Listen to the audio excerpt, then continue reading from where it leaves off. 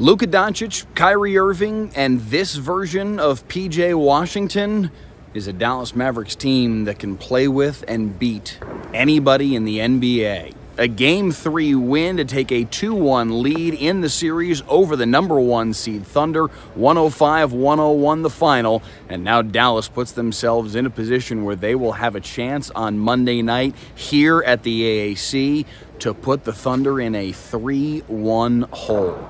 PJ Washington is the story of this series so far for the Dallas Mavericks. 27 points today after 29 points in Oklahoma City on, uh, in game two.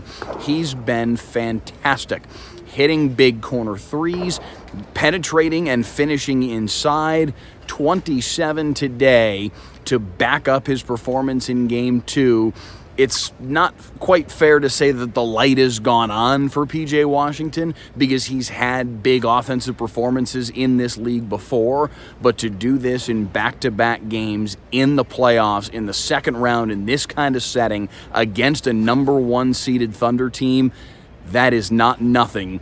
And that is a dramatic development for a Dallas Mavericks team that looks much, much better and much more difficult to beat if this is who PJ is going to be. Luka Doncic battling through what feels like three or four injuries at this point. Only the knee injury is officially listed on the injury report, but knee, ankle, he's got blood showing up all over his legs over the course of these last couple of games.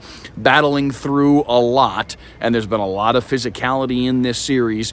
He was not great today by any means, but he put up 22 and made an impact, had 15, 16 rebounds in this game. I apologize, I forget exactly which.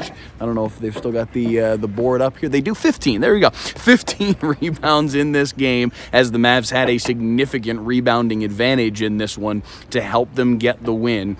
But it's those three. Uh, Kyrie got hot in the fourth quarter to help put this game away. His little lefty floater in the lane was basically the final blow. And his stretch getting heated up late third and into the fourth is what allowed Dallas to hang on and win this basketball game. Mavs are looking dangerous. It's only three games, it's only the second round, but the Mavs are, are getting interesting.